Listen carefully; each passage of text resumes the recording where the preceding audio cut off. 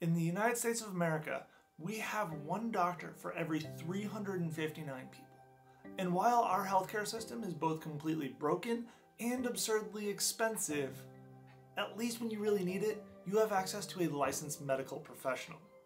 In the Haut-Uélé province of the Democratic Republic of Congo, there is only one board certified doctor for 1.9 million people. That man is my friend Jean Claude Batanet. If the Haut-Uélé province were a state here in the US, there would be 5,291 doctors for the same population.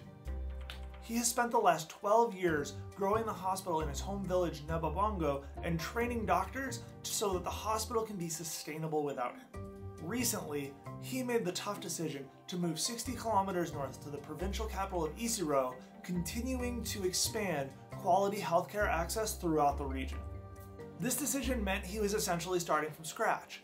New nonprofit, new staff, new resident doctors, new nurses, new facilities, and new challenges galore through the day to day.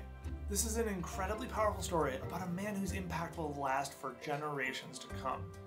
I'm looking forward to telling this story and help the new hospital become a huge success.